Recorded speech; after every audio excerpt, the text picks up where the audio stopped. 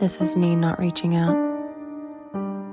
This is me fighting every urge to tell you about my day, to learn about yours,